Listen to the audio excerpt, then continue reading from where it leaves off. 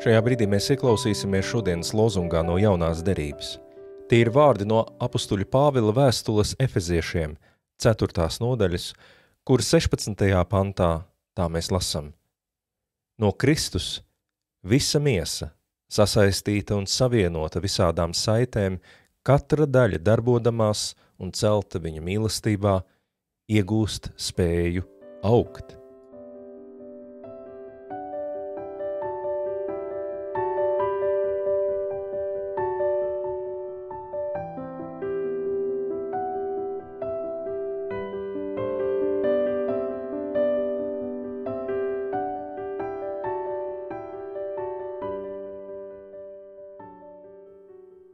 Visvarenais un mūžīgais Dievs, mūsu mīļais debesu Tēvs, mēs Tev no sirds pateicamies, ka šajā vakarā mēs drīkstam visi būt savienoti kopā ar Tevi šajā lūkšanā. Būdami dažādās vietās, varbūt pat dažādos laikos to klausīdamies un līdzi tam iedami, mēs patiesībā tiekam savienoti vienā punktā, vienā lielā veselumā, kura galva un centrs esi Tu, Tu, kas esi šajā pasaulē, mūs radījis un aicinājis, tu, kas esi mūs atpestījis un atbrīvojis. Tu, kuram pieder mūsu dzīvība un mūsu nākotne, tu, kas mūs svētī un dari par taviem bērniem. Tu esi tas centrs, no kā viss iegūst spēku. Un jā, lai arī ārēji mēs esam ļoti atšķirīgi viens no otra, dzīvojam dažādos laikmetos, dažādās kultūrās, dažādās vietās. Ja vien mēs esam pievērsti tev, ja vien mēs caur Kristu varam lūkoties uz tevi kā uz savu tēvu, ja mēs esam pie tevis un tevī caur lūkšanu un tava gara klātbūtni un darbību, tad notiek tas, ko apustulis vairākās vietās mums ir mācījis, ka visa draudze, visa baznīca ir kā viena miesa, kā viens ķermenis, kurā mēs visi esam saistīti, savienoti, katrs pilda savu uzdevumu. Viens spēja to, ko otrs nespēja. Un tā savstarpēji papildinot, mēs katrs darām to, ko mēs varam, bet visi kopā mēs izdarām daudz vairāk nekā jebkurš viens cilvēks to būtu spējīgs izdarīt.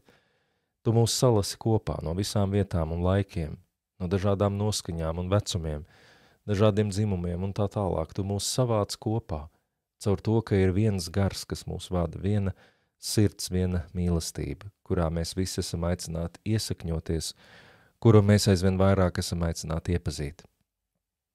Mīļais Dievs, tā ir tiešām no vienas puses noslēpumaina un mistiska, no otras puses tik ļoti reāla pieredze. Kā tas ir, ka mēs īstenībā dziļumos esam saistīti ar Tevi?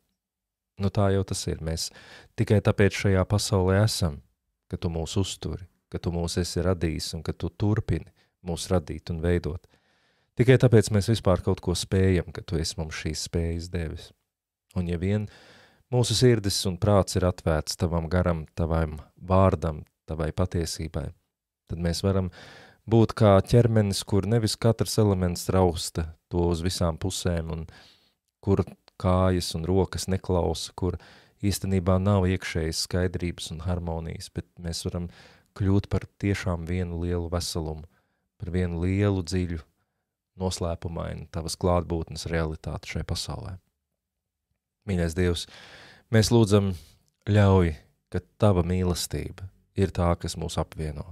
Jo tiešām, kungs, tā mēs saprotam, ka tu esi radījis šo pasauli vispirms ieviesdams lielu dažādību, un pēc tam to visu apvienodams, nevis tajā, ka mēs visi kļūstam vienādi, ka mēs tiekam uh, ka mums tiek atņemts tas, ar ko mēs atšķiramies no citiem, ka mēs tiekam novienādoti, bet tu mūs apvieno caur mīlestību, vienotību dažādībā, savstarpējā papildināšanā, savstarpējā aizlūkšanā, tajā, ka mēs viens otru redzam, viens otru pieņemam, viens otru mīlam.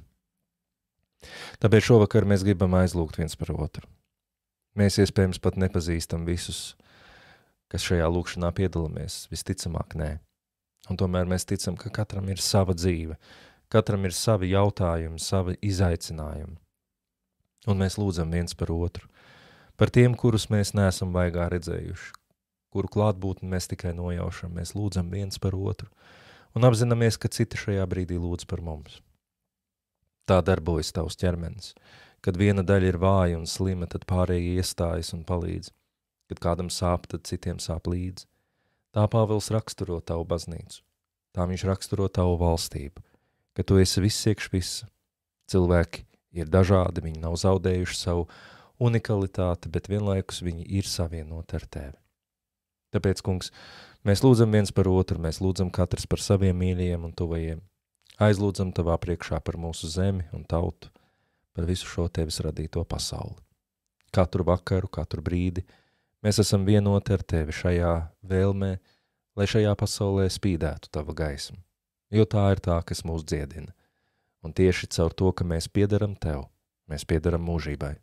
Šī pasaule paies, bet tavu valstība ir mūžīga un mēs gribam Tev piederēt, tagad un vienmēr. Tāpēc dod mums mieru šai naktī un spēku atkal celties un dzīvot, un dzīvot apzinoties šo savu vienotību un saikni ar Tevi, kā šajā mirklī, tā katrā mūsu dzīves brīdī.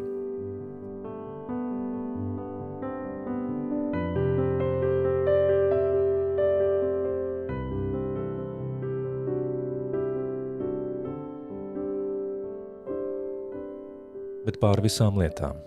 Mēs tevi lūdzam ar tiem vārdiem, kurus tavs dēls mums ir mācījis un ļāvis lūgt. Mūsu Tēvs debesīs, svētīts, lai top tavs vārds, lai nāk tava valstība. Tavs prāts, lai notiek kā debesīs, tā arī virs zemes.